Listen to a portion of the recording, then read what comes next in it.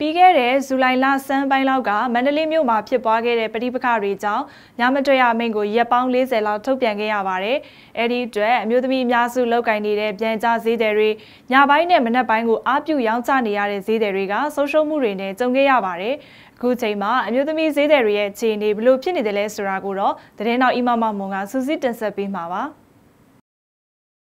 ပြီးခဲ့တဲ့ဇူလိုင်လတုန်းက ပရိပခတွေနဲ့မငြိမ်မသက်ဖြစ်ခဲ့တဲ့မန္တလေးမြို့တော်ကြီးဟာအခုဆိုရင်အခြေအနေပြန်လည်ငြိမ်သက်သွားခဲ့ပြီဖြစ်ပါတယ်။ဒါပေမဲ့ရပောင်း40ကြာထုတ်ပြန်ခဲ့တဲ့ညမထွက်ရအမိန့်ရဲ့နောက်ဆက်တွဲအကျိုးဆက်တွေကိုတော့မန္တလေးမြို့အနီးဝန်းကျင်ကပြန်ကျဈေးတွေခန်းစားနေရတော့မှာ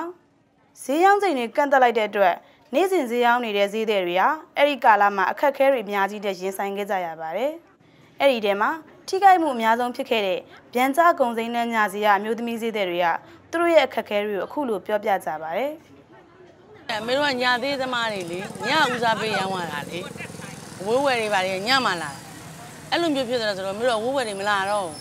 အဲ့တော့မင်းတို့မရောင်းရတော့မရောင်းတော့မင်းတို့ဒုက္ခရောက်တာပေါ့ဝယ်တဲ့သူကလည်းကမန်းကရန်ဝယ်တာကမန်းကရန်ကိုပဲကတိုက်ကဲဝယ်ကြတာဝယ်ပြီးပြန်ကြတာသူတို့လည်းကြောက်တယ်လေကိုလည်းကြောက်တယ်လေအဲ့လိုဆိုတော့ခါကျတော့ဖောက်တယ်ဆိုတော့ကိုမရှိတဲ့လောက်ဖြစ်သွားတယ်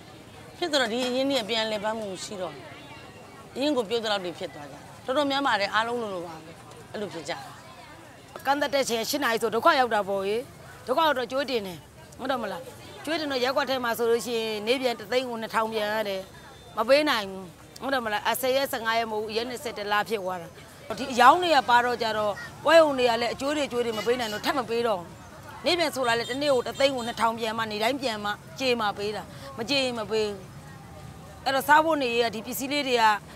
မရောင်းမကောင်းတော့တရက်က2ရက်ပေါ့နော်ရောင်းမကောင်းတော့ရှုံးတာပေါ့ငါသမီးရဲ့အဲ့ဒီအကျိုးဆက်ဟာမန္တလေးရပြန်ကြဈေးတဲ့တွေကိုသာမကကဘာလက်ခီးတဲ့တွေအများဆုံးလာရောက်လဲပတ်ကြတဲ့အထင်ကရနေရာတွေကဈေးတဲ့တွေကိုလည်းထိခိုက်စေခဲ့တယ်လို့သိရပါတယ်အဲအချိန်ကကြတော့အချိန်နဲ့ကြတော့ဟိုကြောက်ကြောက်လန့်လန့်နဲ့ရောင်းပြီးတော့ပြန်ရတယ်ဆိုဧည့်သည်ကလည်းကြောက်ကြောက်လန့်နဲ့ပြန်ကြတယ်ဆိုတော့ဟိုရောင်းမကောင်းတော့ဘူးပေါ့အရင်ထားတာတွေလည်းအသီးနှံရင်တော့အသီးနှံပုတ်ပေါ့ အဲ့လိုပဲအရင်ပြုတ်ကြတာပေါ့ခုချက်ပိုင်းလေးတော့မစိုးဘူးပေါ့အဲဒီဝမ်ဖိုးဖိုးတော့ကတော့အဲဧည့်သည်ကလည်းကြောက်လို့ကရန်ကရန်ပြန်ညကိုကလည်းကြောက်ပြီးတော့ကရန်ကရန်ရောင်းဟောအချိန်နာရီကြည့်ပြီးတော့ပြန်ပြီးအဲ့လိုပြန်နေရတော့အယောင်ပိုပါတာပေါ့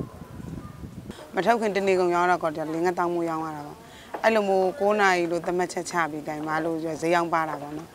အဲ့ကျတော့ဘလို့က9နာရီခွဲလောက်ကျော်တင်ရတဲ့ခါကျတော့ဈေးရောင်းပါအနာကုန်ရောင်းမှတထောင်မှုတထောင်ခွဲဖို့ဆိုမနဲ့ရောင်းရတာ ဝယ်ရတဲ့တနေ့ပစ္စည်းကကြော်တယ်ဒီကအေးအေးလေးငါးကျော်တွေပါစုံကျော်တော့2000ဘူး3000အဲ့လိုမျိုးရင်းနှီးတွေရှိရတယ်အဲ့လိုမပြေတဲ့ခါကျတော့ကိုစားဖို့နေရင်းနဲ့တယောက်လောက်ရှာခဏဆွဲတယောက်လောက်ရှာတယောက်ဆွဲအဲ့လိုမျိုးဆွဲတုံးရတာပေါ့